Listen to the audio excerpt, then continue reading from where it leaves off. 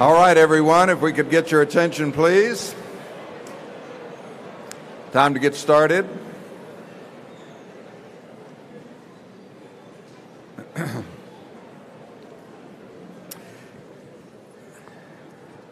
I think this evening is going to be worse than usual in terms of people straggling in because they chose to redirect the traffic tonight in a different way, and I think it's going to take three times as long to get in here. So Please be patient as others come in late, but it's time to get started. We don't want to miss a single minute of singing, do we? I don't think so.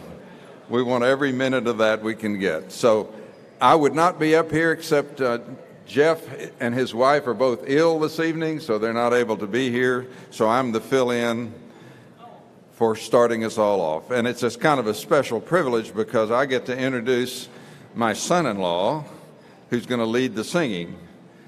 And uh, the Chandlers are all up here too. So Royce and Hope and Marilyn and I share grandchildren. Don't get me started.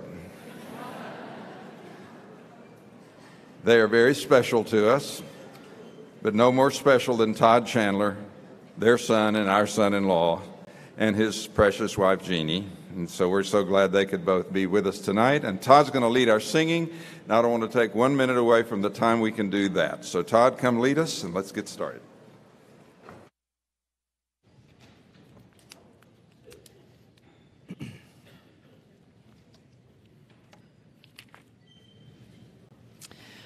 Zephaniah chapter 3 and verse 16 and 17 read this way In that day it shall be said to Jerusalem, Do not fear.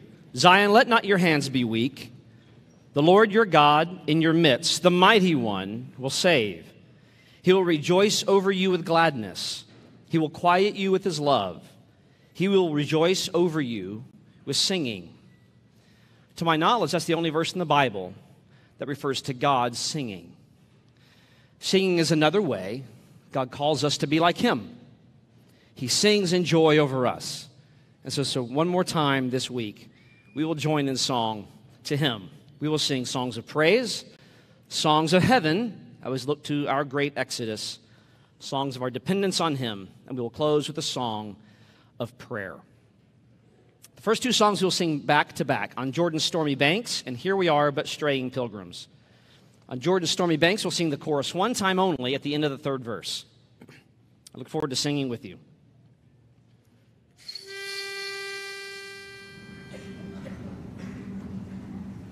One.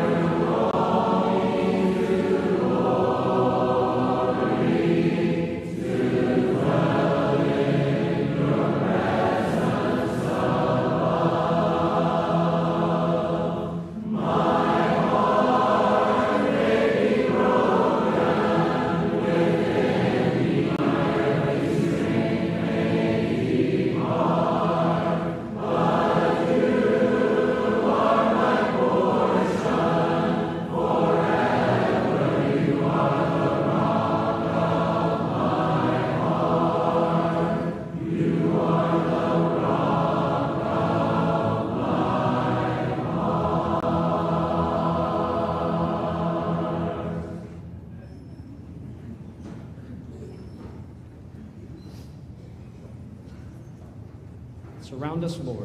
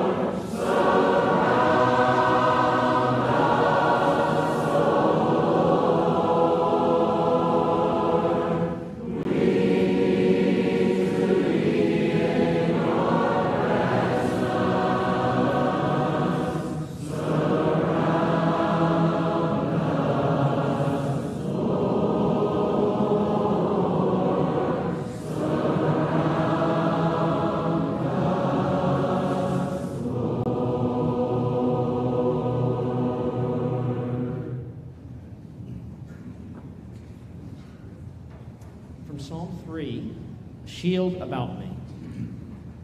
Begin this as it's written, mezzo piano, modest and quiet. And many of you know this song. It is a wonderful song. It will follow the, uh, the dynamic changes, the volume changes as marked. And as perhaps as I indicate.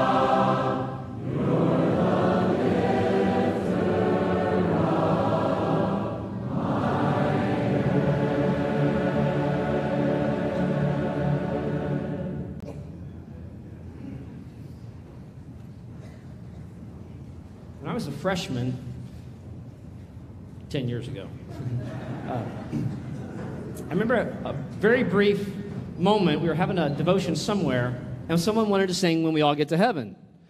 And there was a very brief but memorable discussion of can we sing this song? Because we don't know if everyone's going to heaven. That's a freshman discussion. And I think we ended up not singing the song because we couldn't agree to it. It's a wonderful statement of faith, and I think it's right in spirit with what John wrote in 1 John chapter 5. These things I have written to you who believe in the name of the Son of God, that you may know that you have eternal life. That kind of hope and confidence of a Christian. We'll sing two verses of when we all get to heaven.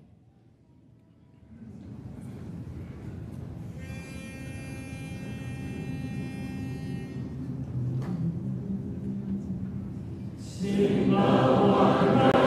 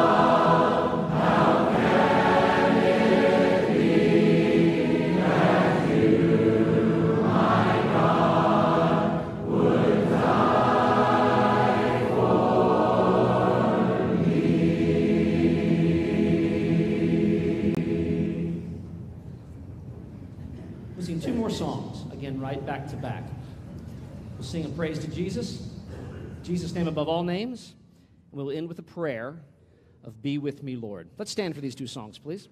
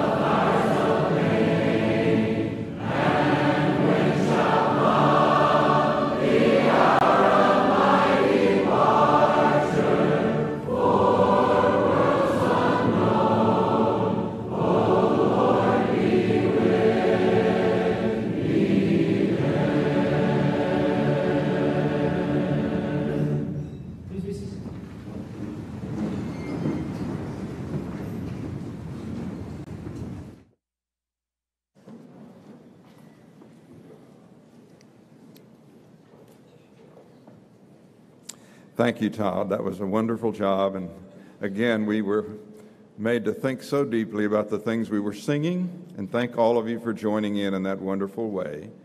It's a memory we'll carry with us for a long, long time. I'm pleased to introduce to you the last speaker in our lectureship of this, this evening. He will close out this wonderful series on I Brought You Out Studies on the Exodus. His fitting message for this closing lesson is the new Exodus and the final Exodus. Dr. Tom Hamilton was appointed chairman of our Biblical Studies Department recently, and he's been a member of our Bible faculty uh, for a long time, since 2005.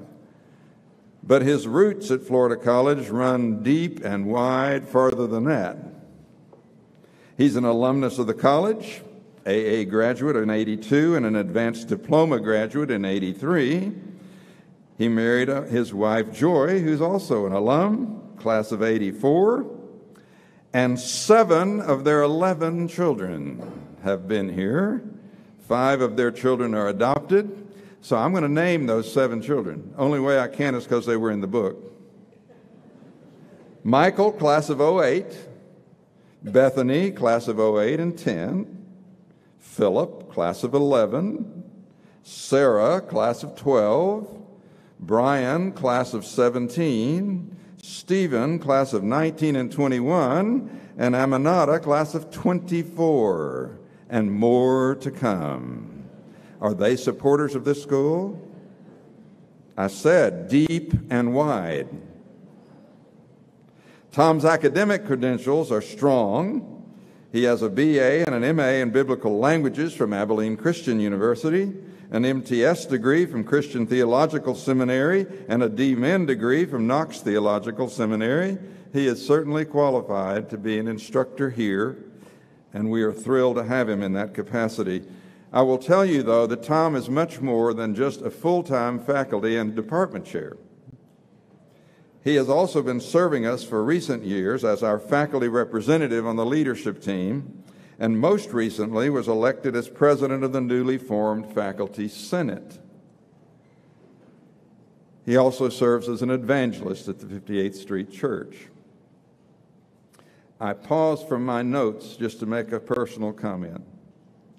I can tell you from my seat, Tom Hamilton has been a huge help to me personally and to this institution in his role as faculty representative and as president of the, of the Senate because he is just exactly that. He's a representative and he knows how to take people who have different viewpoints and help them come together. And that's been his passion. And what a help that is. So, Tom, for me personally, I want to thank you for the way you have served our institution above and beyond all the things you do in the classroom and to affect our students. Beyond all of that, ladies and gentlemen, he and Joy and their family have had a profound impact for good upon our student body and upon our staff by their godly example as husband and wife, father and mother, and with sacrificial love for all of those children and a whole lot of other folks, and a godly devotion to the God of heaven and His Word. We thank God for all that they have brought to Florida College and its family, and we bid you give your careful attention to our beloved Brother Tom Hamilton this evening.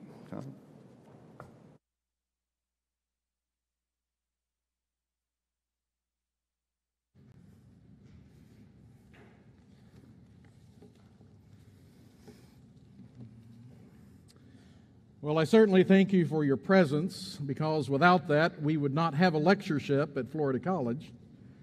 And more than that, I thank you for your support, especially in sending young people our way, because without that, we wouldn't even have Florida College. I love my job. I love these young people. I have the greatest job in the world to preach and teach the greatest book to the greatest young people you will find on the face of the planet.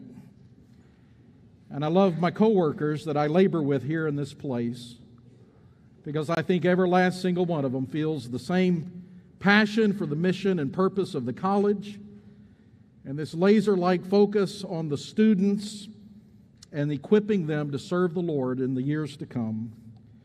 We take what has been entrusted to us and entrusted to other trustworthy people who will be able to teach others also. I find lectures to be a special time because I, at least, certainly find it helpful to be reminded of why we are here and what we are doing. And I think it gives our guests an opportunity to come on our campus, at least for a little bit, and get a glimpse of what we try to do throughout the year. I'm thankful to the men who wrote the manuscripts, turned in the essays that are published in the lecture book, that is a daunting task, and they do it on such short notice. And if you don't, don't are aware of this, we're making the lecture book freely available in digital format in a repository that we have in our library that you can download that. And not only that, but eventually, if not already, all of the lecture books should be available there. You can also, of course, still order a physical copy of the lecture book if you want. And then there are the other men and women who have supplemented our lectures with the uh, classes in uh, Puckett and the afternoon lectures and the panel discussion and all of that. I'm grateful for, particularly because I do feel a responsibility for the lectureship as being the newly appointed chair of the Bible faculty. And I say this sincerely. I do solicit your feedback if you have any suggestions about what works well or what could be better, a constructive criticism, I certainly would be eager to hear from you. But the feedback I've gotten so far this week seems to be that the lecture has been well received, the theme of the Exodus, the job that the men have done. And of course, the preparation for lectures goes on more than a year before they take place. And it is a collaborative effort among all of the members of the Bible department, particularly. And that's really a fun job because we get along so well. And I, I, am thankful for that and don't take that for granted at all. But if you want to thank one individual in particular, this has been really the brainchild, the theme, the structure of the, the lectures, and how they're organized and fit together so well. If you want to direct your gratitude to one individual in particular, it is the past chair of the Bible department, David McClister. And mentioning the past chair of the Bible department, this is the point at which I would say, I am thankful for the invitation to speak, but since I work here, it doesn't work that way. And I received the same instruction that I would speak on Thursday evening that our Tuesday evening speaker received. And I just want to make it clear the Bible department chair who gave that instruction was the former chair that will remain unnamed. So, my topic is the new Exodus and the final Exodus. Uh, the intent is to kind of bring together the theme of the entire week and weave all of this together to see what does it all really mean for us. And so I want to begin in Luke chapter 20 and verses 37 and 38 in particular. And this is the occasion in which the Sadducees, who don't believe in the resurrection, want to entrap Jesus. And so they had recently viewed the 1954 musical, One Bride for Seven Brothers.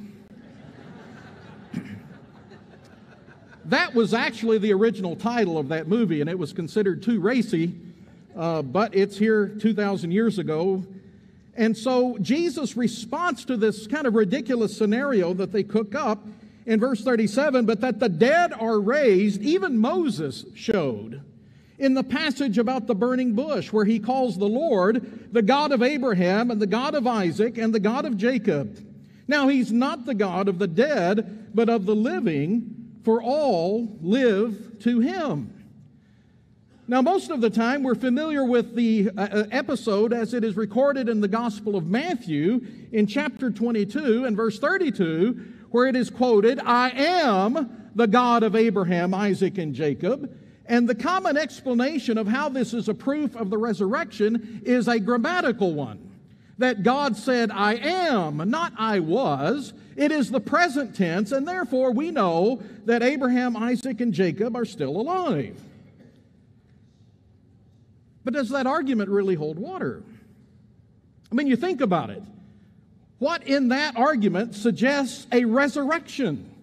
At best, it would suggest that Abraham, Isaac, and Jacob have not been annihilated. They still exist somewhere, but there's nothing in there about reanimating a dead body and reuniting it with their departed spirit.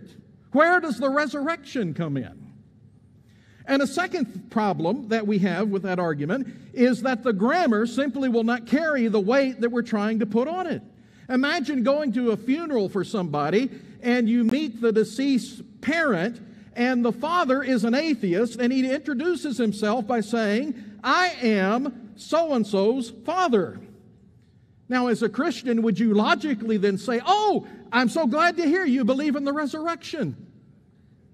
Or if the deceased father is a Christian and were to say, I was so and so's father. Oh, so sorry to hear you don't believe in the resurrection. Well, the reality is the grammar just does not carry the weight we're trying to put upon it.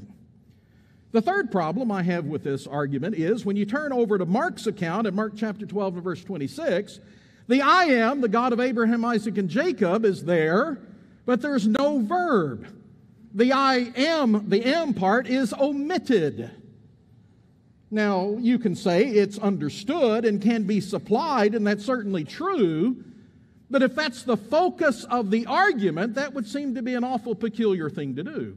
Especially when you consider that Matthew and Mark are both quoting the Septuagint, the Greek translation of the Old Testament, where both the pronoun and the verb are included. So Mark would have to intentionally omit it. Why would he do that if that was the heart of the argument? And looking here in Luke chapter 20, you can't even get a being verb in that at all. And so I don't think that's the answer. So, why is this the argument about the resurrection in the Gospels? You know, we get in the book of Acts and in the epistles, we get a lot of other arguments about the resurrection rooted in Old Testament scripture, the majority of which come from the Psalms, but also the prophets. But in the Gospels, It's this reference to Exodus chapter 3 and verse 6 at the burning bush. I want to suggest two keys to why Jesus uses this argument. The first is the critical importance of the promise that God has made to Abraham. To use the words of the Apostle Paul from the book of Ephesians, this is none other than God's eternal purpose. That before the creation of the world, that God had a divine plan, a single unchanging strategy by which he was going to save all people. That's his eternal purpose. And that eternal purpose is expressed and communicated in this promise that God made to Abraham. How do I know that? Well, if we turn over to Galatians chapter 3 and verse 8, we read there this statement by the Apostle Paul that the scripture, foreseeing that God would justify the Gentiles or the nations by faith or trust, preached the gospel ahead of time to Abraham, saying, All the nations will be blessed in you.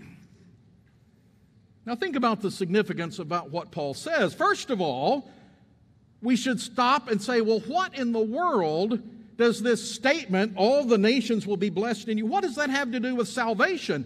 Paul concludes, all the nations are going to be saved. They're going to be justified. They're going to be forgiven of their sins.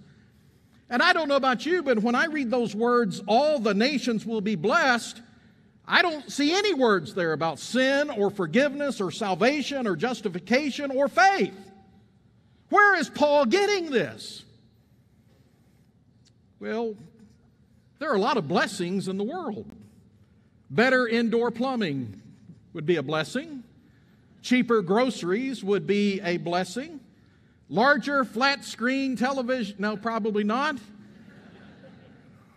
But picture somebody in the middle of the Atlantic Ocean and they're drowning. They have one need they desperately want to live. And you come along offering them cheaper groceries. How about better indoor plumbing?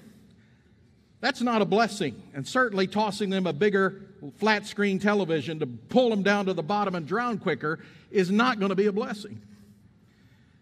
When you have a need that is so central and so desperate, there is only one thing that counts as a blessing, and that's what's going to fix your problem. And the reality is, Paul understands that all people have one problem it's basically ourselves. And another word for that is sin. Our self centeredness, our sin, our rebellion against God.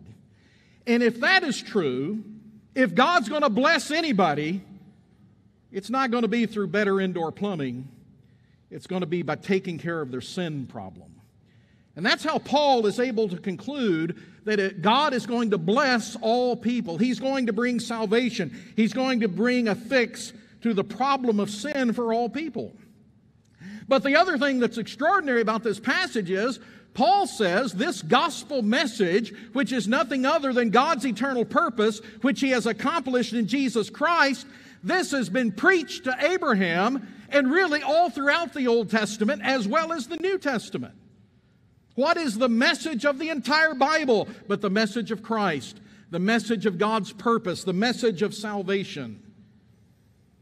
And it is expressed the first time here in Genesis chapter 12, where God begins by making this promise to Abraham. That's how important it is. And if you try to find in the Old Testament where this statement is found, all the nations will be blessed in you, you can't find it. You find three similar statements in chapter 12 and verse 3, and chapter 18 and verse 18, and in chapter 22 and verse 18, but none of them say quite exactly what Paul says here. And I think what he has done is intentionally woven these three statements together to conflating them together and making the point it is not a single statement that is the issue, but that God's whole purpose has been communicated in Abraham, and not just him personally, but repeated to Isaac in chapter 26 and Jacob again in chapter 28. And so by the time we get to the book of Genesis, we have this mantra that develops the God of Abraham, the God of Isaac, the God of Jacob. In 19 different times in the remainder of the Old Testament, this is used as a shorthand for God's covenant faithfulness. To talk about the God of Abraham, Isaac, and Jacob is not to call to mind three ancient historical characters, but it calls to mind God and what he had promised to Abraham and Isaac and Jacob and their offspring. And so, what is the nature of Jesus' argument? Well, I think it is this. If in the end of all things, the covenant promises of God that he made to Abraham, Isaac, and Jacob is simply that Abraham dies and his body rots in the ground and he becomes worm food. And Isaac follows, and Jacob follows, and I follow, and you follow, and there it is. That's the end. What good are the promises of God?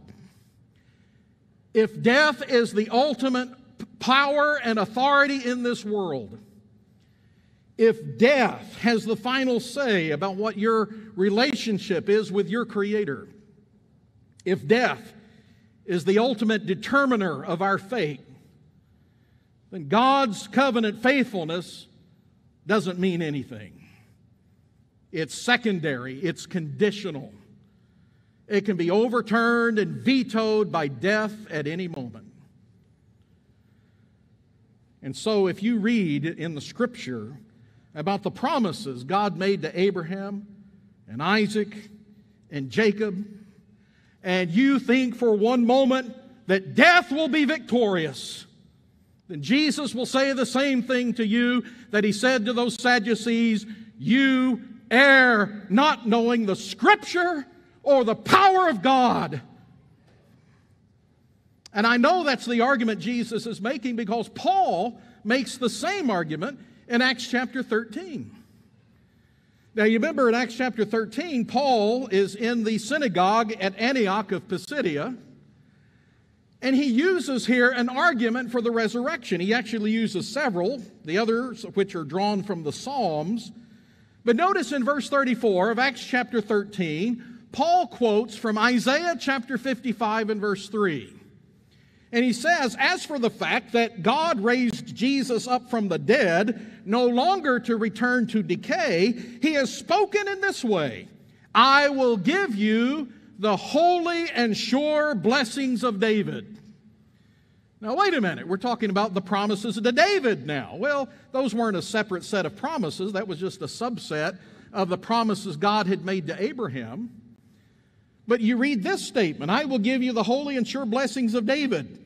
I don't read anything in that statement about death or about a resurrection or about the decay of the body or its reversal. Where in the world is Paul getting this from? But the same place that Jesus did in Exodus chapter 3 and verse 6. And I think the focus we should put on is the word sure. How in the world can the promises that God has made to David and his offspring be sure if death can thwart them. They're not sure. We have this saying there's only two things certain in life death and taxes. And the Bible says death is not certain. Our God is what is certain. And He is the God over death. And He has made a promise, and these promises are certain. Now, another interesting thing about this passage, you'll notice Paul is arguing from Isaiah chapter 55 and verse 3 for the literal, physical, bodily resurrection of Jesus. It had to be because of this statement in Isaiah 55 and verse 3. But you know something interesting? This you that is used by Isaiah and quoted by Paul in Acts chapter 13 and verse 34, it's a plural you. It's y'all. I will give y'all the holy and sure blessings of David. And what that means is whoever's included in that group of you, if it means Jesus is going to literally be resurrected with a body then everybody else has to as well, or the logic doesn't hold. And so you see how important this promise to Abraham is as the entire eternal purpose that God has to redeem man from sin, which includes not just spiritual death, but physical death as well. Well, there's a second key that I would suggest to explains why Jesus uses this passage in Exodus chapter 3 and verse 6 and makes an argument about the resurrection. Yes, it's important about the promises God has made to Abraham, Isaac, and Jacob, but as we've already mentioned, there are 19 different passages Jesus could have used to make the same point. But he chooses this one in Exodus chapter 3 and verse 6 at the burning bush. Why? Because, as has been said repeatedly throughout this week, the Exodus is the greatest example of God's deliverance, of God's redemption of people out of their bondage. And so it becomes the pattern for every other redemptive act that God undertakes. And it starts here at the end of Exodus chapter 2, where in verse 24 we are told that God remembered his promise to Abraham and Isaac and Jacob. And he goes on to indicate in chapter 3 that yes, they knew him by his name Yahweh. They used that label, that name all of the time, but they didn't see the fullness of God acting consistent with his covenant, that he had not yet fulfilled those promises. To use the language of the Hebrew writer, the patriarchs were only heirs of the promise. They died in faith without receiving the promises and did not receive what was promised. But now that Moses has come, God has now given us the definitive exhibition of what redemption looks like of how God can save a people who themselves could not save anything. I mean, you, you think of the picture of the one superpower on the face of the planet armed to the teeth, and you have all these dispirited slaves who have no weapons, and they're somehow going to beat the Egyptians. Well, of course, they couldn't, and they didn't. But God did. And God puts this pattern on display for all the world to see. And for the next 1500 years, the prophets and the other writers of the Old Testament point back to this as the pattern of God's deliverance. And that does two things. It emphasizes that God is faithful. God made his promises to Abraham, Isaac, and Jacob, and he has kept them. And that also has a future uh, kind of emphasis because if God has been faithful, we can trust him to be faithful in the future. But also, it emphasizes that there is even something more that is yet to come. That there is a greater, truer, more complete fulfillment that is yet to be. And how do we know that? Well, we see passages like 1 Peter chapter 1, verses 10 through 12. That the prophets themselves knew that they were talking about something bigger than just their mundane contemporary issues because the words that God gave them were just too big. The concepts that they were speaking to people seemed to suggest something greater and far beyond them. And so Peter says these prophets are like outsiders trying to peek in through the window. What is going on here? Who are we talking about? When is this going to happen? And not only the Old Testament prophets, but the angelic beings are trying to peek through the window. And how little did those Sadducees understand any of this?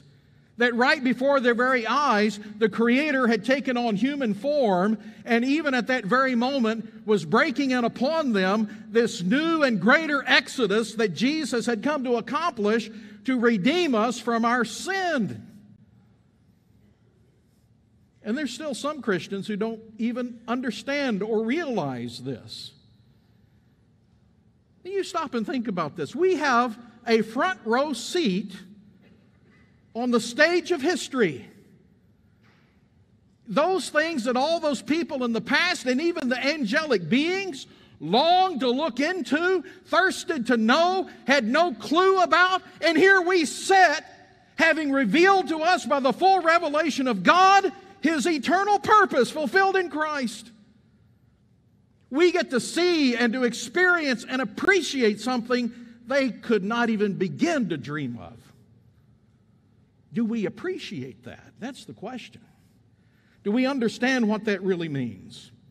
And so, what we have seen throughout this week, as our lecture speakers have done such an excellent job, we have seen Jesus as a new Moses. We have seen real deliverance from the bondage of our sin because Jesus is that Passover sacrifice for us. We see a new law, a new covenant, a new relationship with God, a new tabernacle and dwelling place with God. We have a true high priest that can really get the job done and intercede on behalf of our sin. And we have this new journey that we've started as we pass through this wilderness, striving to get to the promised land. And that's really what this lecture is about the new Exodus that Christ has already inaugurated. And yet, that final Exodus that needs to be completed at the end. And so, we're kind of in this already but not yet time period. We're in this wilderness wandering, which is a time of trial, a time of testing, a time of waiting, and a time of trusting in God. And so we sing these songs This world is not my home. And of all of the books of the New Testament I think of to develop this idea, I think 1 Peter comes to mind so easily because he talks about us as strangers and sojourners and resident aliens. Even his language in chapter 1 and verse 13 about girding up the loins of our mind is an echo of the Exodus story where they girded themselves up to prepare for the travel and the journey ahead. And so I want us to think about two practical questions. Number one, what is the importance of the promise to Abraham to me? And what difference does it make? And secondly, what is the meaning of the Exodus pattern and what difference does it make? And so, what you will see is the two keys that I have suggested for understanding Jesus' use of Exodus chapter 3 and verse 6 to argue about the resurrection are the same two things I want us to focus on in a practical way. What difference does it make? What difference does God's eternal purpose make? What difference does this new Exodus that he has inaugurated in Jesus Christ make? And I want to answer the second one first, and I want to do so by reference to 1 Peter chapter 2. The text from verse 4 through verse 10 is one that in the past I have audaciously called the single most significant text on evangelism in the New Testament. And I hope you'll see what I mean by that here in a moment. But verse 9 says, You are a chosen race a royal priesthood, a holy nation, a people for God's own possession, so that you may proclaim the excellencies of him who has called you out of darkness into his marvelous light. Now, this word proclaim is an interesting word. It's used all throughout the Septuagint, that Greek translation of the Old Testament, but especially in the Psalms. It predominates in the Psalms. And it's not a word that's used of preaching or just proclaiming or giving a speech. It is a worshipful term of offering up praise and thanksgiving to God.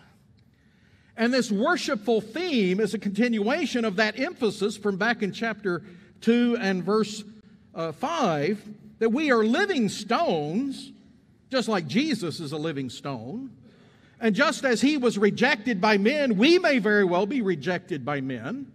But just as surely as God's opinion of Jesus was much more important than human opinion, it's God's opinion of us that we are chosen and precious to God that should be more meaningful to us than whatever rejection that people may give us. But as these living stones, we are to be built up into a spiritual house. Another word we could use for that is a temple. And we're to be a holy priesthood to offer up spiritual sacrifices acceptable to God. And what that worship will ultimately result in is this proclamation in verse 9 of praise and thanksgiving to God. Now, you may recognize that verse 9, this description of us as God's people, this is exactly the point. That all of those types and models and patterns that we talk about, Jesus as a new Moses, a new deliverance, a new sacrifice, and so on, it all boils down to the fact that we are the new Israel, that we have been redefined as God's people. It's no longer those who are physically related to Abraham, but rather those who are children of Abraham by having the same faith that Abraham did. That's what Paul says in Galatians chapter 3 and verse 6. And you'll find this all over the New Testament. The New Jerusalem is part of this imagery. Uh, the idea in Romans chapter 2 that we're to be Jews inwardly, circumcised on the heart. The passage I would focus on is the very last verse of Galatians chapter 3 as part of that extended argument. You know, that's the same chapter we started with, that the gospel is being proclaimed ahead of time to Abraham. And at the very end of that chapter, Paul says, if you are of Christ, that is, if you belong to Christ, you are the seed of Abraham, heirs according to the promise. What promise? The promise he made to Abraham, Isaac, and Jacob. And so here Peter picks up on that. We're God's people. And one of the ways he emphasizes that here in verse 9 is by borrowing the language from Exodus chapter 19. And there, as Israel is gathered at the foot of Mount Sinai, Moses tells them that they are that chosen race, that royal priesthood, or a kingdom of priests, a holy nation and a people for God's possession. And the most interesting thing of that description I would draw your attention to is this role uh, that we have as priests. And that's something I think is greatly misunderstood by many. I think Luther contributed to that by talking about a priesthood of believers and reading that through the lens of the Roman Catholic priesthood and reacting against that. If you're thinking of a priesthood in the sense of atoning for sin, the book of Hebrews makes it pretty clear there's only one priest that has ever done that, truly. And he did it so well, it never needs to be done again and that is Jesus Christ. And so the picture that's being painted isn't Jesus as the high priest and we're all, you know, lackey priests under his uh, service. But I think the point is we are priests in the same sense that the nation of Israel were to be priests. Well, what did that mean? And clearly, Moses was not saying to the Israelites in Exodus chapter 19, guess what? You're going to be a nation that has priests. I mean, find a nation in the ancient world that didn't have priests. God might as well said, you're going to be people that breathe oxygen. At least that's probably something they wouldn't have understood as well.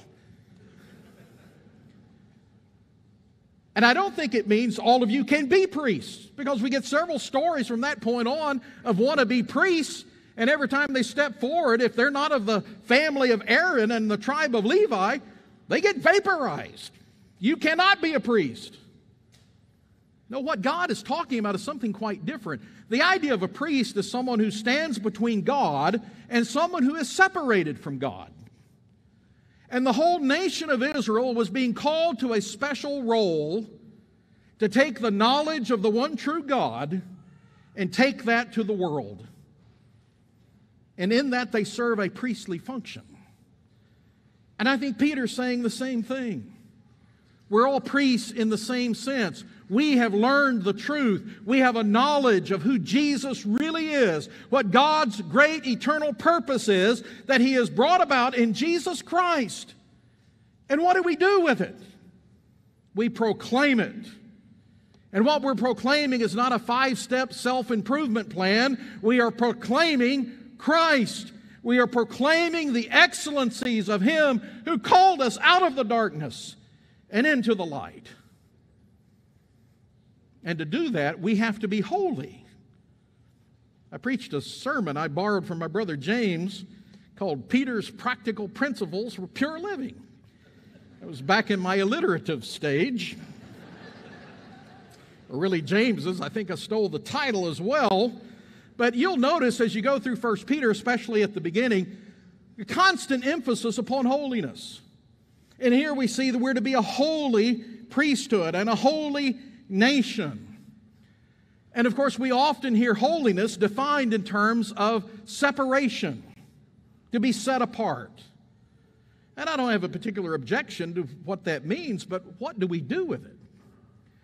And I think there's a mistake that we often make that we so emphasize holiness in a certain stereotypical fashion that we fixate upon our own personal moral integrity. And I certainly don't want to compromise that. I don't want to lose my holiness because I do things I shouldn't do or not do things I ought to be doing. But that has a tendency to get into our mind and say, well, I need to move to the northernmost reaches of Idaho, up in the mountains, and I'm going to build a little commune, a utopia of only Christians, and we're going to get away from the world. But the world we have a problem with is not people, it's not planet Earth, it's that corruption and rebellion and sin that is in our own heart, and wherever we go, we drag it with us. We're not getting away from the world in that sense. And we're deceiving ourselves to think we can get away from the world that way. But imagine for a moment if Jesus felt that way when the Father says, Look at planet Earth. They're desperately sick, they are in need of salvation. And Jesus looks down from heaven and says, What a moral cesspool! Those people are absolutely filthy. I am not going to go down there and rub elbows with tax collectors and prostitutes and sinners because I cannot compromise my holiness. Well, I'm not suggesting for a moment we ever should or that Jesus did. But what I want to point out to us is there's another dimension to holiness. If you're going to be a holy nation and a holy priesthood, because the idea of holiness is purity. And we need to be pure in our moral conduct and behavior, but we also need to be equally pure in our compassion and love for broken people. And if we love people like Jesus loved people, he would look down upon this sewer we live in and take pity and say, I'm willing to come down. And I will not compromise my holiness in terms of personal morality, but neither will I compromise my holiness, my pure love for those that are so desperately in need of salvation. And so, what Peter calls us to is to truly be a holy people.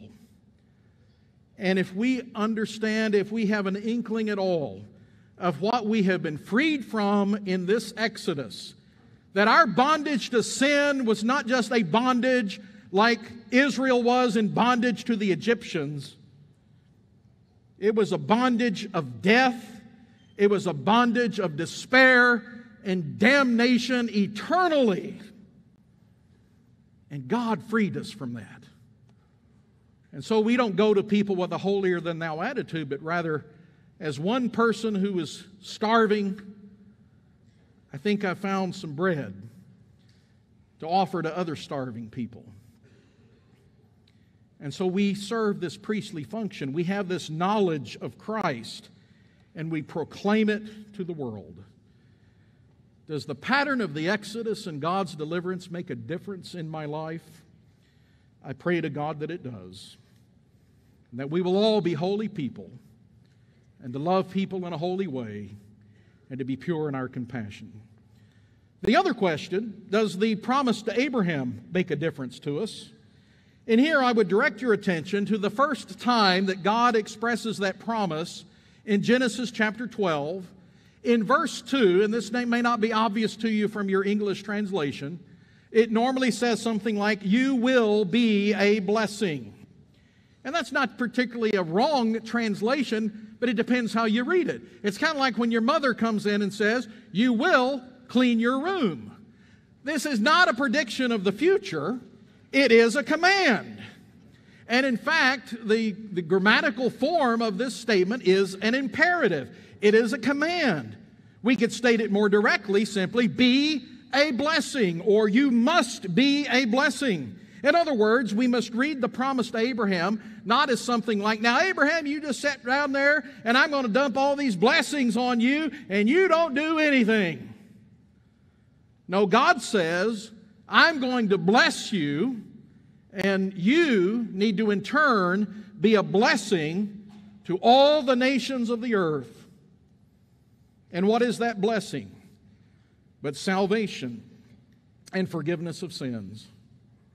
In other words, if we're going to be the seed of Abraham, and Paul said we are in Galatians chapter 3 and verse 29, and that promise has been passed to us as well. And I don't think Paul means by that the fulfillment of that promise. There are senses in which we still await the fulfillment of that promise.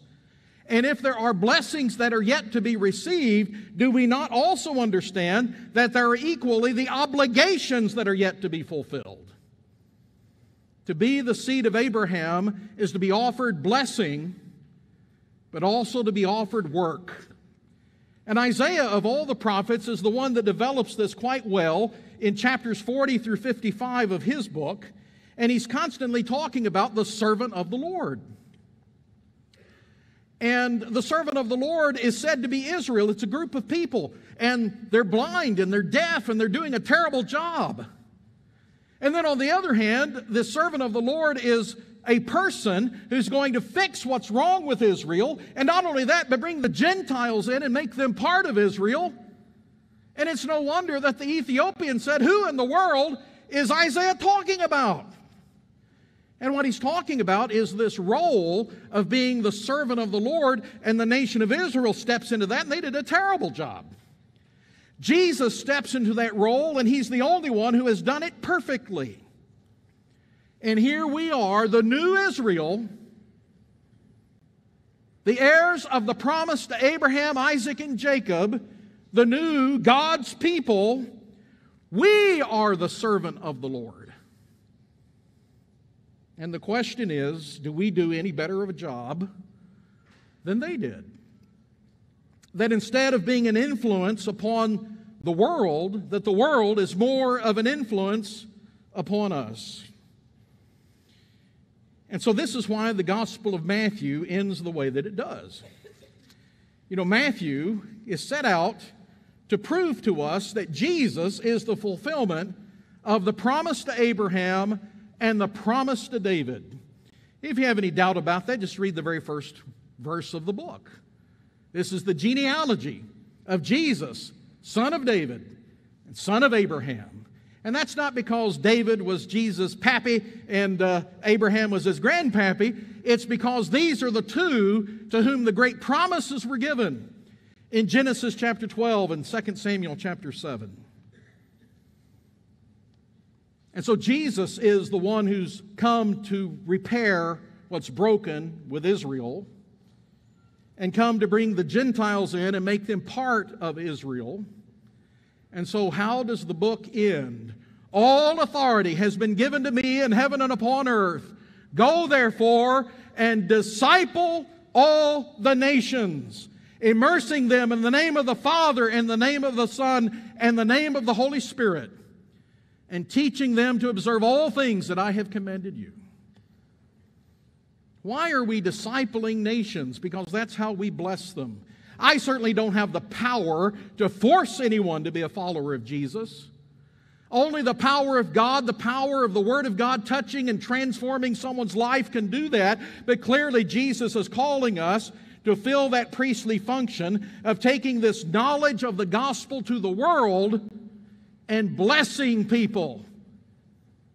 And what are we blessing them with? Better indoor plumbing, bigger flat screen TV sets, or the forgiveness of sin.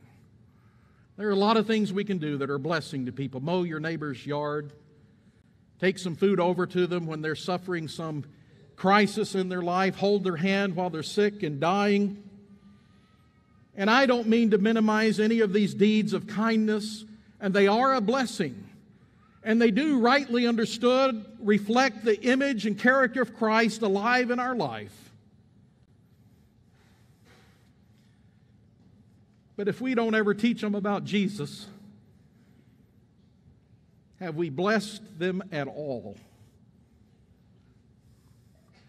And I am ashamed to say that far too often I have been more of a curse than I have been a blessing. Would you pray with me, please?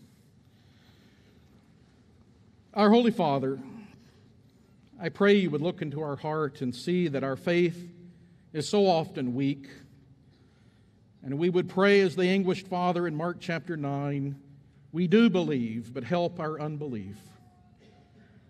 That we often think, had we been present in Egypt and seen the plagues against the Egyptians, or the parting of the Red Sea, or if we had stood at the foot of Mount Sinai, that we could have heard the thundering booms and seen the dazzling flashes of lightning and fire and felt the ground tremble beneath our feet. Strengthen our faith, Father, so that we can see that we have come to a mountain, Mount Zion, a mighty mountain that cannot be touched by human hands, that is brilliant with the radiance of your glory that cannot be seen by physical eyes, and thunders with a sound that we could never hear with our physical ears. And the very ground shakes in a way that our bodies could never feel. But even the heavens and the earth shake, and the very foundations of hell are shaken by your power. And that we are so thankful that we have received a kingdom that cannot be shaken, and a promise that can never fail, and a king who can never be defeated. And it is him that we pray, the King of kings and Lord of lords, our Jesus, and amen. Well, this is the point at which the chair of the Bible department gets up to make an announcement. You may have heard there is a major announcement about the future of Florida College. And here it is. We're going to have lectures next year in 2023. Well, I guess that's a uh, that'll be good.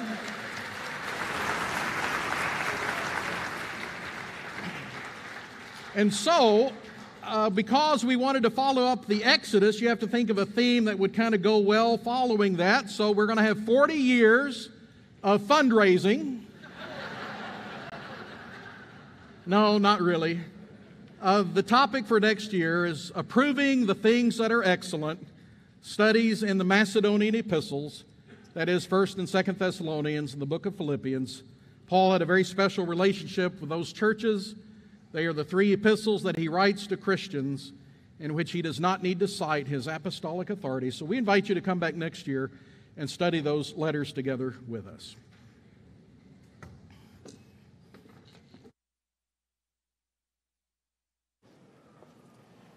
Thank you, Brother Tom. And good evening, brothers and sisters. My name is Craig Hodges, and I'm on the board of directors here at the college. And I'm also the chair of the Presidential search committee. And I know you share with me the exciting announcement that Tom made, but there's more.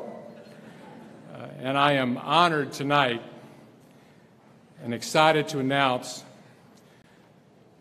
to all of you in the room and online who the next president of Florida College will be, effective June 1, 2022. But before I do that,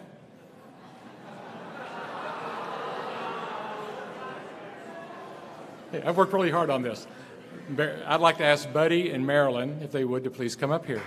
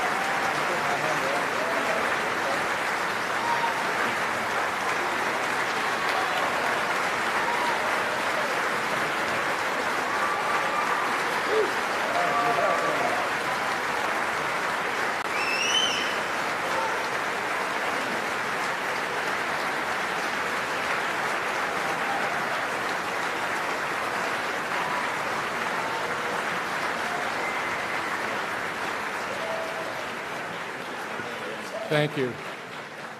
You can go sit down now. You really want us No. to? Oh. As many of you know, President Payne announced that this academic year would be his final one as president of the college. And he served as our fifth president for the last 12 and a half, nearly 13 years. As you just experienced, his love of this school, the students, the faculty, the staff, the alumni is unprecedented. His focus on keeping the college fully committed to the mission and charter of this school is unrivaled, and I can assure you from a board perspective this will continue in the years ahead.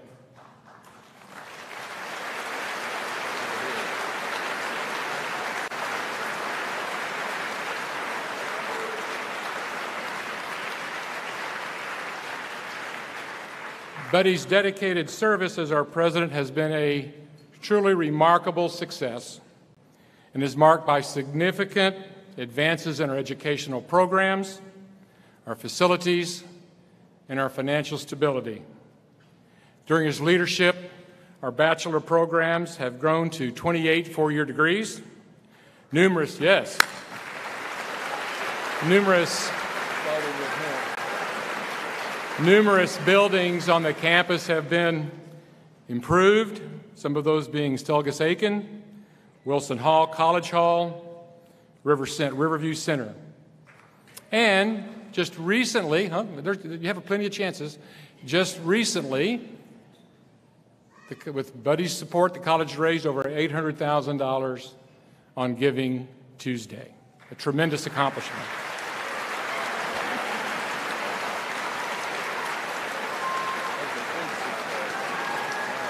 He, he, with the support of Marilyn, they have worked tirelessly to connect with our constituents, increase our donor base, and improve the financial stability of the school. We could be here all night long talking about all the great achievements of his presidency. But be assured, he will leave a lasting legacy for generations to come.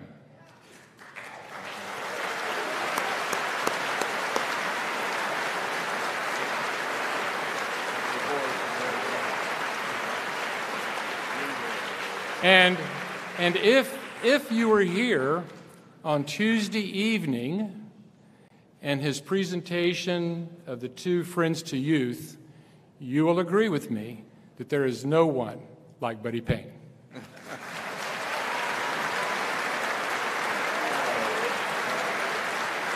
So, there'll be much more recognition to come for Buddy and Marilyn as they close out this academic year. But one last time, I want you to join me in expressing our deepest gratitude and thanks for their over 50 years of service to this college.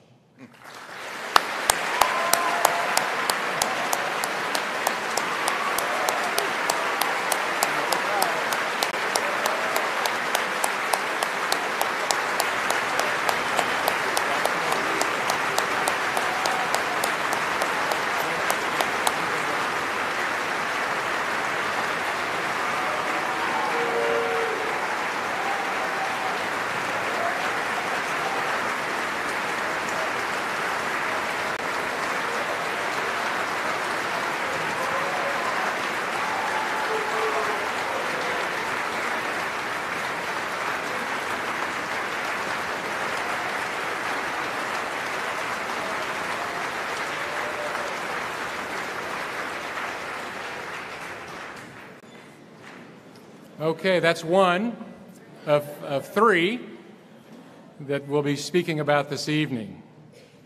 The Board of Directors established a presidential search committee to find the next president of Florida College. The committee appreciates all the prayers, encouragement, and support offered to us over the last five and a half months as we've conducted our search. I would say this has been a very humbling experience for all of us on the committee. The committee solicited recommendations from a broad base of FD, FC constituents and the community. We identified viable candidates. We conducted extensive background reviews and personal interviews. All the final candidates were truly outstanding leaders. At the recent Board of Directors meeting that was held this past Monday, the committee reported its findings to the full board.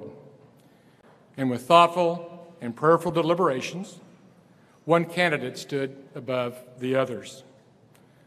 And the Board of Directors of Florida College has unanimously elected Dr. John Weaver to be the next president.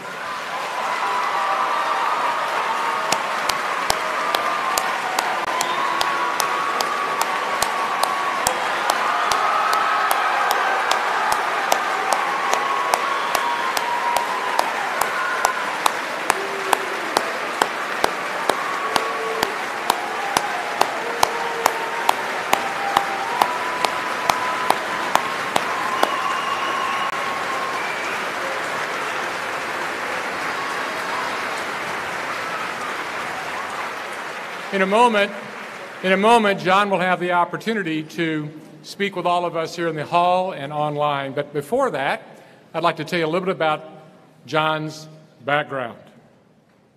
He came to Florida College in the fall of 2019, and after a transition period, he assumed the role of academic dean and professor of Bible in January 2020. As the academic dean, he and the faculty have been hard at work in developing and implementing additional fields of study for the college nursing, kinesiology, marketing, and a specialization in mass communications. Several other new programs of study are in the pipeline for the coming year.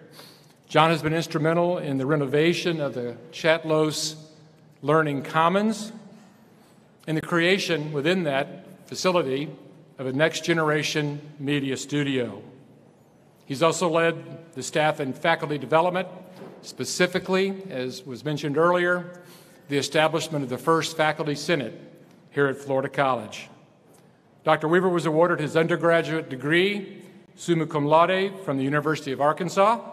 He holds an MA degree from the University of Chicago Divinity School, a Master of Library Information Sciences degree from the University of South Carolina, a PhD degree from Emory University with a specialized study focus in the New Testament.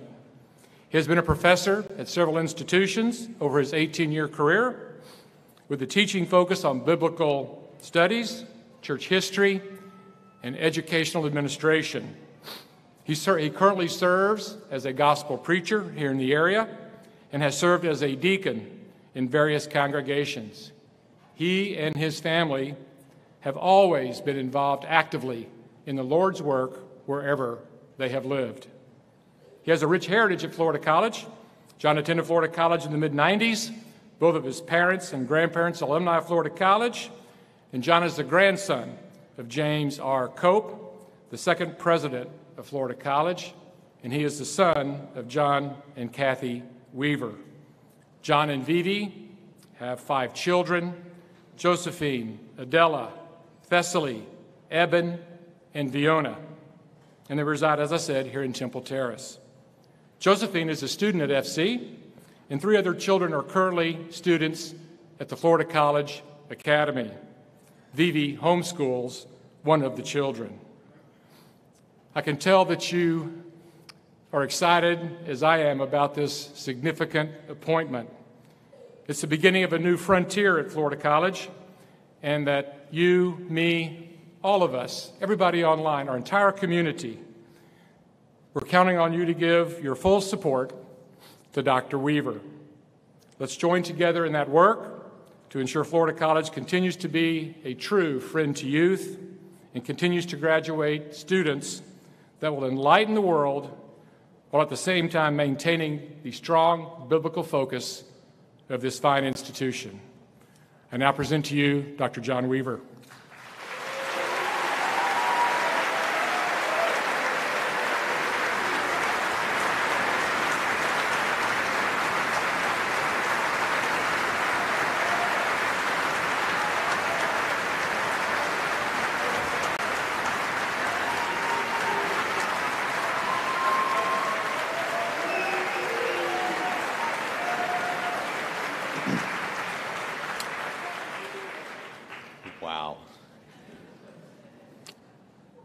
Thank you, Mr. Hodges. Thank you for all of your encouragement and your support for Buddy and for me. Buddy, I'm going to tell you, I am not normally a crier, but this moment is going to test my mettle. I'm going to tell you that right now. I'm thankful to God for this opportunity, and I'm thankful to the board of directors for their support. I'm thankful for their confidence, to the faculty and staff for their support. I'm so thankful, and to all of you for your prayers. I'm very aware that this moment, its great significance, the great significance of this position is not about me. It's about the strength of the Florida College family. It's about us, our fellowship, our discipleship in Christ, our sojourning as the people of God. This moment is about the youth in this auditorium, here tonight and across this country. This moment is about parents and grandparents who are here in this auditorium and around the country. And they may be watching and, and asking, what will the college become now? Should I send my children there? Should I support Florida College? These are momentous questions. These are questions of this moment.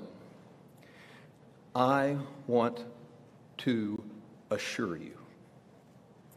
I want you to have, be confident that my wife, Vivi, and I will fulfill Florida College mission, that we'll teach biblically and will support faithful service.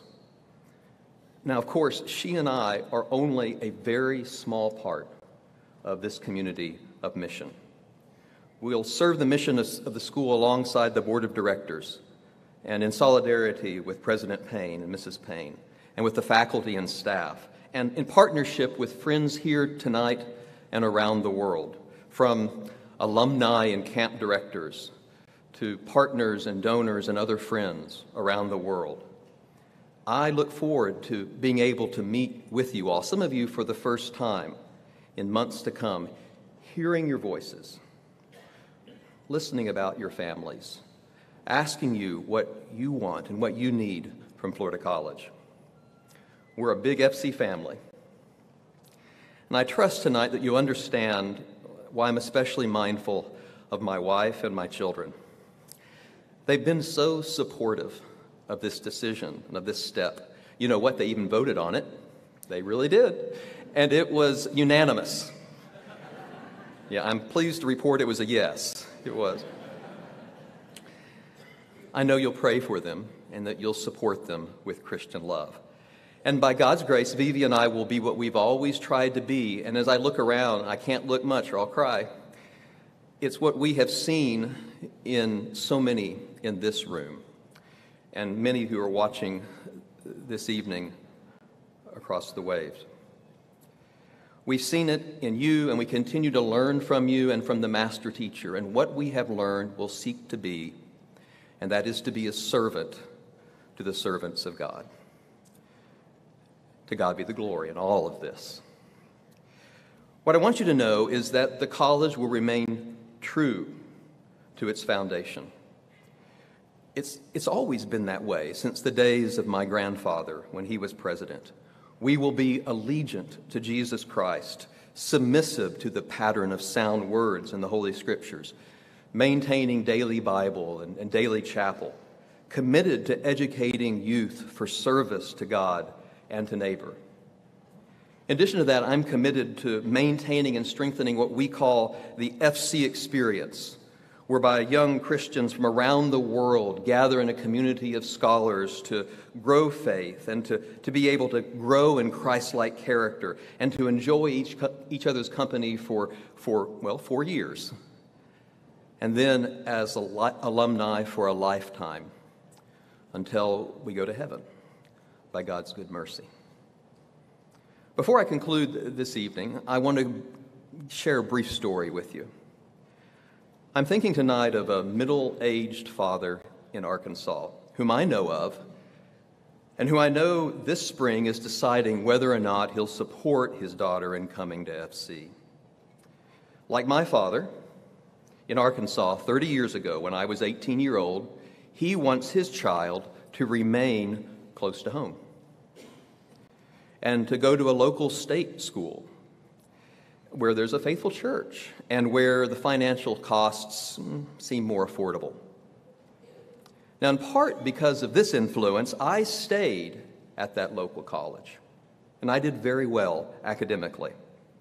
And some Christians, thankfully, are able to have a similar experience at a state university or at a community college and be faithful to God all of their lives. But as for me,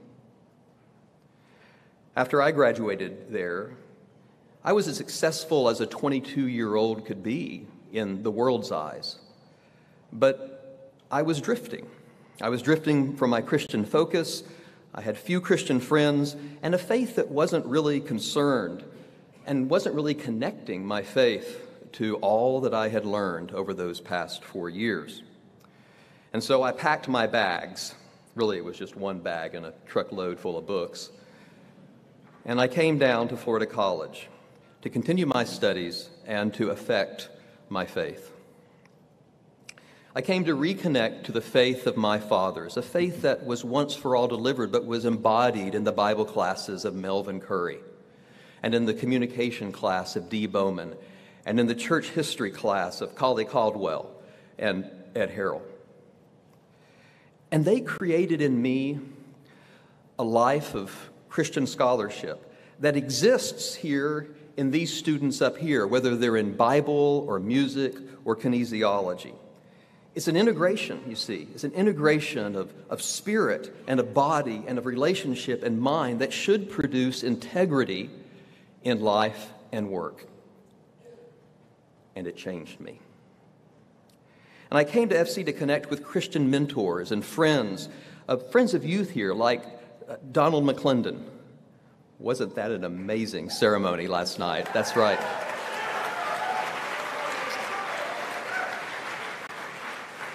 and dorm parents like Hurl and Jenny Calvert. Yeah. They, they introduced me to Vivi, and they showed me how to be a husband, and they showed me how to be a better son to my parents and a better brother to my sisters. They showed me how to grow in Christian family. And it changed me.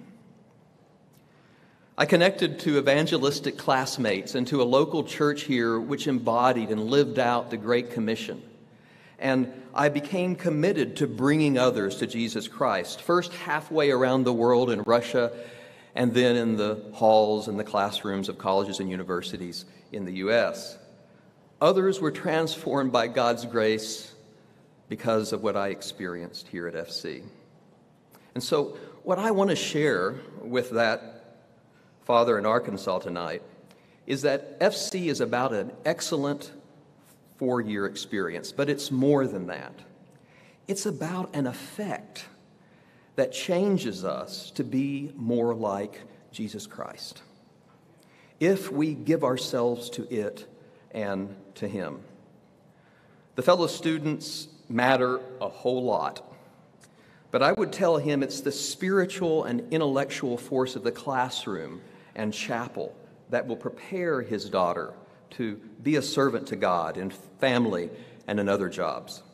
It's the effect of mentors on campus and in the community that will affect his daughter and that will, that will draw them closer to him and his family in heart all the days of their life, even though they may be separated for a little bit more time in body. As president, I will be committed to this FC experience and to this FC effect so that FC will be the first choice of New Testament Christian families, both because of the excellent academic quality and because it continues to strengthen and serve our families, both in the near term and in ways that it will take generations even an eternity in heaven, to fully appreciate. May God bless you all. May God bless Florida College. Thank you so much.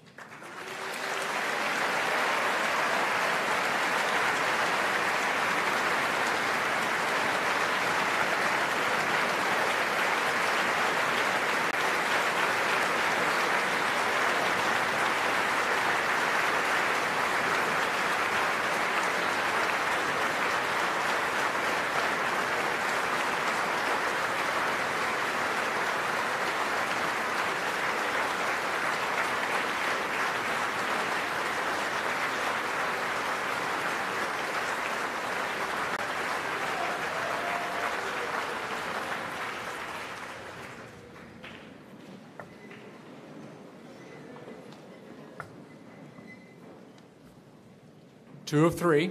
I have one more to go.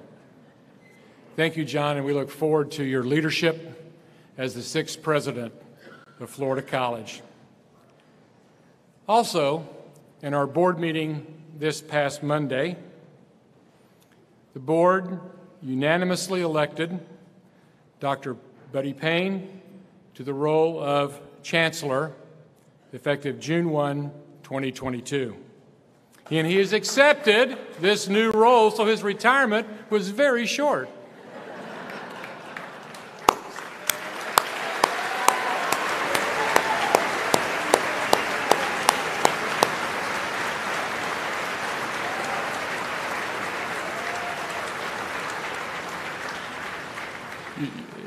At the very beginning, I said he re, he's going to retire from his role as president. I didn't say he was going to retire from Florida College. Buddy will be assisting the college in raising funds for our endowment and our capital needs. But maybe more importantly, to echo Dr. Weaver's comments, he will serve as an ambassador for this college by encouraging students to attend and maybe more importantly, talking with parents about the value of sending their children to FC for a Bible based educational experience that will not only make them better kingdom citizens, but also highly employable. Please join me in congratulating Buddy on this new role effective at the end of the academic year.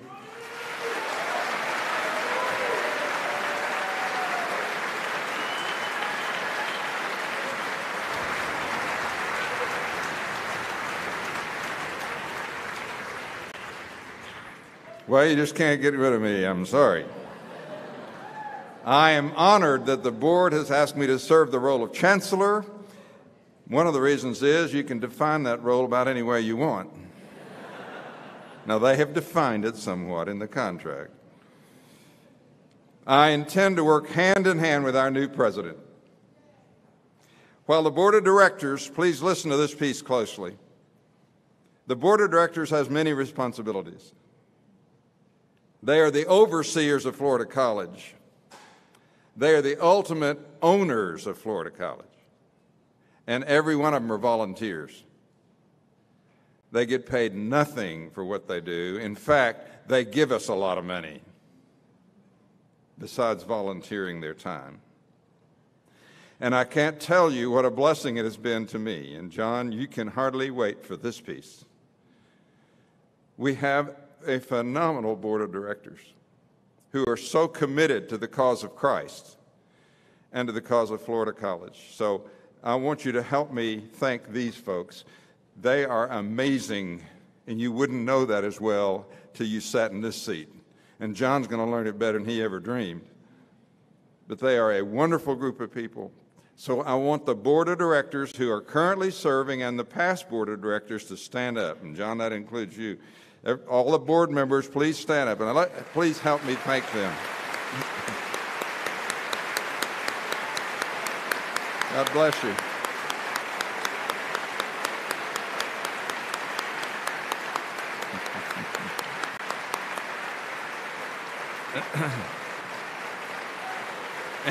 That's good.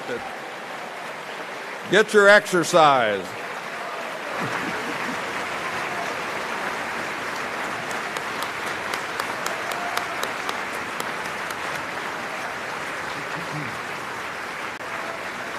Okay. Now I want to finish what I wanted to say about that specifically. The Presidential Search Committee, of whom Craig Hodges was the chair, and all of the board members would tell you that they have no greater responsibility than the selection of the president. While I have no role as president in that selection process other than to answer questions they ask you, just like everybody else they brought before them, I can assure you that this board, under the leadership of the search committee, has left no stone unturned in their thoughtful and prayerful deliberations their unanimous support of Dr. John Weaver as our new president is grounded firmly on solid research, careful listening, and prayerful consideration. You can be absolutely certain of that. Having worked closely with John Weaver myself over the last two and a half years, and having looked carefully into his past experiences and work in the kingdom of God prior to hiring him as our academic dean almost three years ago, I have no doubt, ladies and gentlemen, and brothers and sisters, that he is completely committed to the mission and purposes of this institution. That his leadership of the college will be firmly grounded on those principles. And that his heartfelt desire is for Florida College to be forward thinking, changing in the ways that make her best so she can serve her students better, while never changing the principles on which it has been built that are founded upon the rock of the Word of God. I'm excited to work closely with him over the next four months in our transition time and to serve under his leadership starting June 1, 2022. We covet your continued support, your thoughts and ideas, your constructive criticisms, and your fervent prayers as we give our best to make our dear FC the best she can be while we honor the God of the heavens in our business. Now, I would be remiss if I didn't take this opportunity to say a few more thank yous. So you're going to have to bear with me. First, I look out over this audience and I think back on my first year as president when I traveled all over this country and visited 20 out of 22 summer camps. Some of you remember that. And I'm looking out all this audience and I think of people who took me into their homes and fed me and treated me like royalty, and all the camps that made a great deal out of having a president come. And that was just the beginning. Because what it did was it opened doors all over this country to go see people, to connect with people, and to become part of people. And I want to tell you a big thank you to everybody of our supporters all over this country. One of the greatest blessings, John, you're going to have is the privilege of getting to know all these people all over this country who care so much about what's going on here. So I'm thanking you for me and for my Marilyn who loaned me to you, see, all those times. And I already mentioned the board of directors, so I'll not say that again, but these are quality folks. Do want to tell you, though, that first summer when we toured the camps, one of my goals was to take a board of director with me to every camp. Some of the board of directors had never been to a camp. Most of them had, but some of them hadn't, and I made them go with me. Well, I didn't make them, I asked them, and they agreed. And we had a board of directors member at every camp, and we were able to thank them. We also had a large donor go with us, and so the kids could thank the donor. It was a good beginning. A special thank you to the faculty and staff of our school through these last 13 years. Yeah, that's so good. Thank you. Hmm.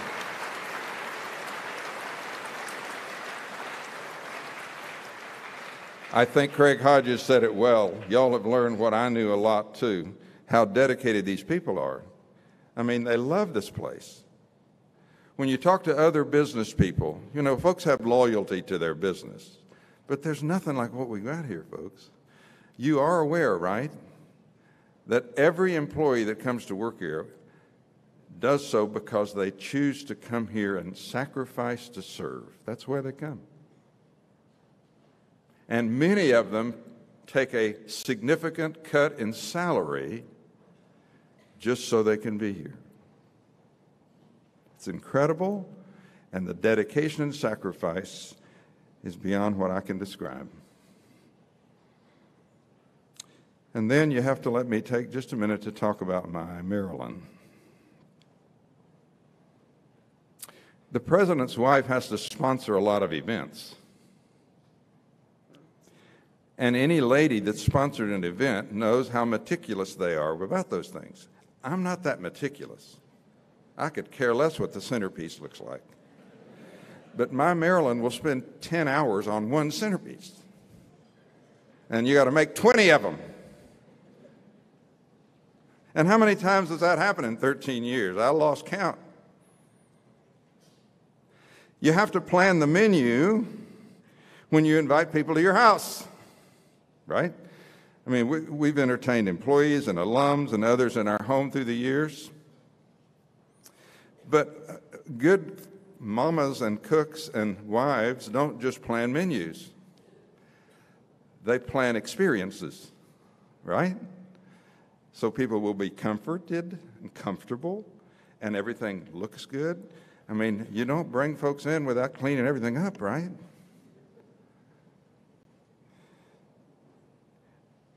So, numerous preparations of all kinds of things, comfort for all, preparations after preparations. And then share everything that the president brings home. I'm just going to tell you one thing, folks. I know I'm not alone when I say that presidents reach low points. And my Marilyn saved me from low points. If it weren't for her, I don't know how I would have handled the lowest of the low. Because we share everything. And I get all the glory. And that's just the way it is. So I'm telling you, that's where the glory belongs. Period. Amen.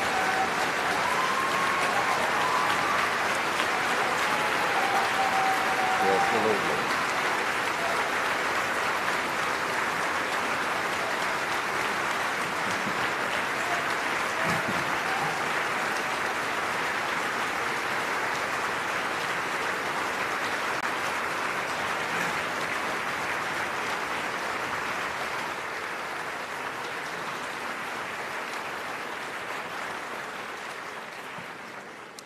And all of you know very well because you tried your best in your house to have a home that's in the image of Christ. The heart is in mama and the wife, isn't it? That's where the heart is. And I'm blessed that God has given me a wife whom, by the way, I met right here. Don't you kids miss the opportunities. That's not why you're here but it sure is a nice benefit. I hear amens? Yeah, I think so.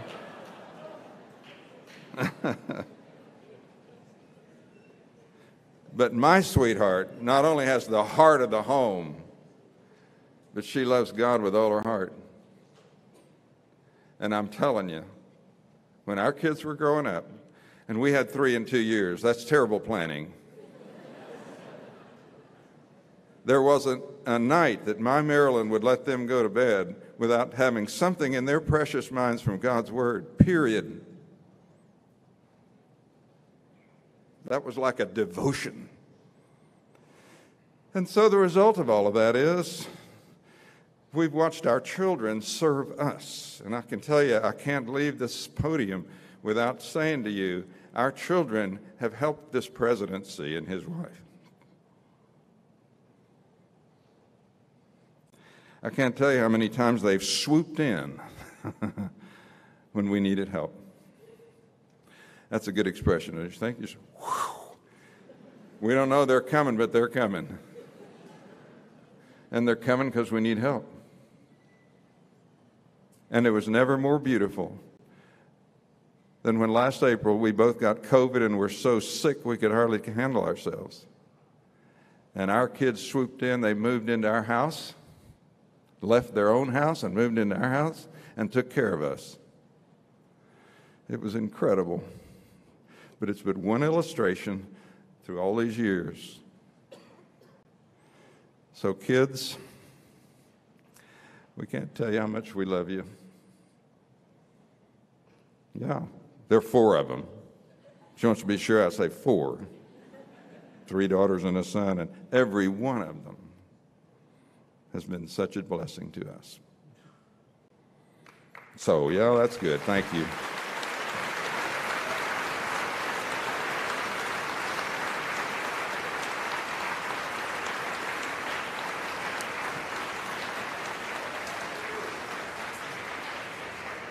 And by the way, kids, I don't want the swooping to stop just because I'm not president anymore. All right, now some thank yous for people who've been doing us so much good for this event. Sierra Schmidt, have you seen her everywhere?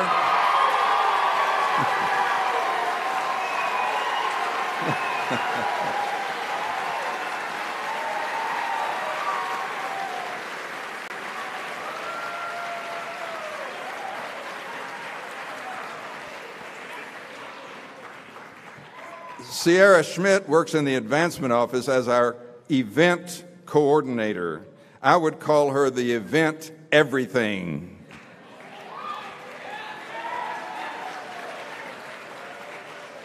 The first night we came in, she was parking the cars too. So she's a working manager, that's for sure. And what a delightful spirit that she has about her. And the whole advancement team and the marketing team, I'm not going to go down the road and name everybody, folks, but they've all put a lot of work into this, and we appreciate them. Tom Garland and his whole maintenance staff, you probably never heard of him. Maybe you have. The kids have. And look, can you feel the air blowing? This air conditioning has not stopped the whole week. Praise the Lord.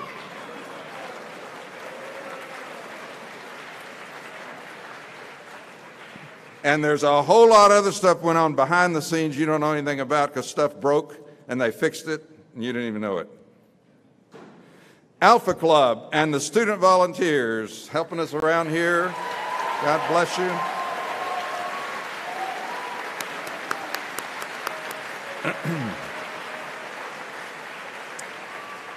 you see all these people back here, the audio video crew, they're all over the place. That's going on all over the campus.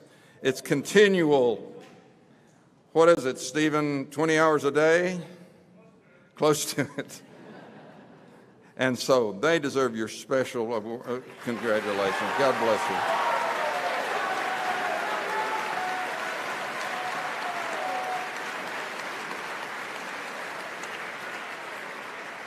And our students give up their parking spaces and the seats down here to sit up there. Thank you. Yeah. Yeah, that's good. Thank you.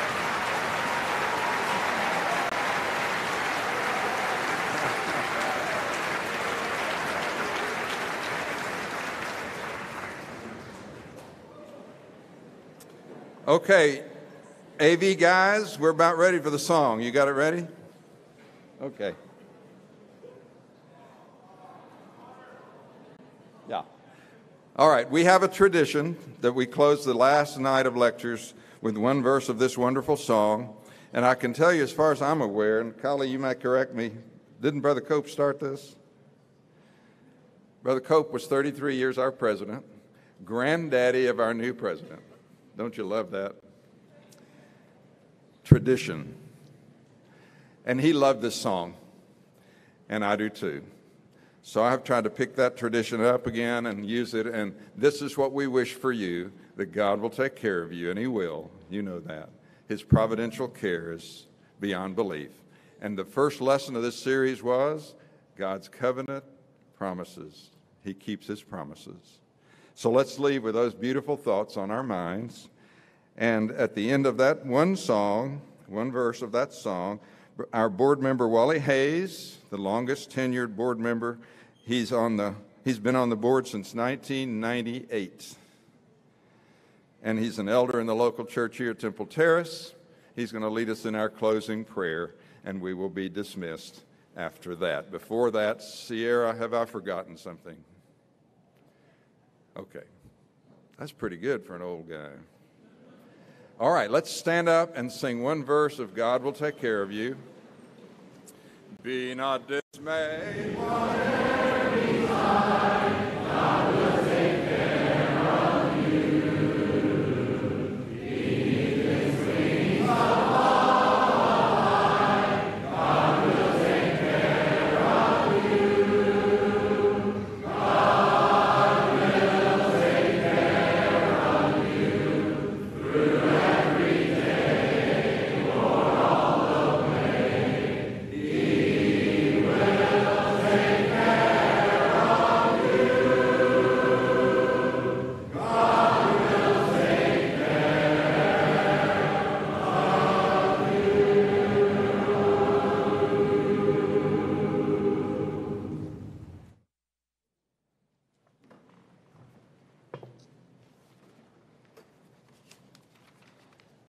You bow and pray with me? Almighty God, you are the author of our life. We're in all of your creation. You are the Savior of the world. We are so amazed at your love and grace. Our suffering finds hope in your healing hands. The burden rests in your promise. The oppressed are unchained by your freedom. You are conditional love. Thank you, Father, for this wonderful and amazing blessing of today, for your word of hope, which gives us strength, for your love that makes our life meaningful, for your peace that gives us comfort, for your grace that renews and stores, restores our life. Father, especially now, we ask your richest and bountiful blessings and guidance upon this college, her students, her faculty, and her staff, and the board of directors, as we work together to ensure that this school remains true to the mission of integrating the lives of our students into the revealed will of God, preparing them for lives of service to you, our Creator, and to humanity. May we truly be a friend to our youth. We thank you, Father, now especially for our brother and sister, Buddy and Marilyn Payne, for their long years of uncompromising service to this institution and may they long continue to serve you and this college. Father, we pray that you will be in the hearts of John and Vivia Weaver as John moves into his new role as president of Florida College, reminding him always to be a humble leader. May John be filled with understanding and wisdom that comes only from you as he helps fill our students with your vision for all, a home in eternity with you. May John and the faculty and staff strive together to move our core principles as together they move Florida College on the path into the future without compromising our mission. Father, we're so appreciative of your grace and love in sending your Son to die in our place, even before we acknowledge you as God, and for accepting us into your family through the blood of your Son, Jesus. We know, Father, we will receive your promise because you are the promise giver. Help us to use those gifts that you have given us to bring honor and glory to your name. It's in your Son's name that we petition you. In his name we pray. Amen.